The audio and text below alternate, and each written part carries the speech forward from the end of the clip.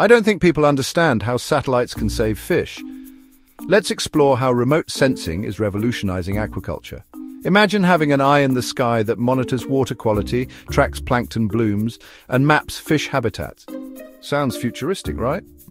It's happening now. Satellites like Sentinel-2 and MODIS measure vital water quality indicators like chlorophyll A, turbidity, and surface temperature. This data helps ensure our fish are swimming in optimal conditions.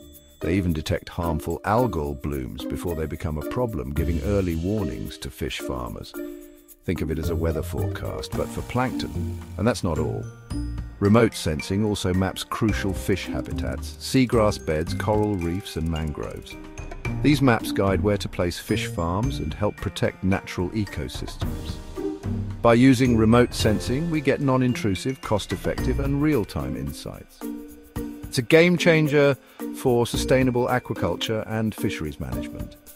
So, next time you think of satellites, Remember, they're not just for space. That yes, they're making waves in our oceans too.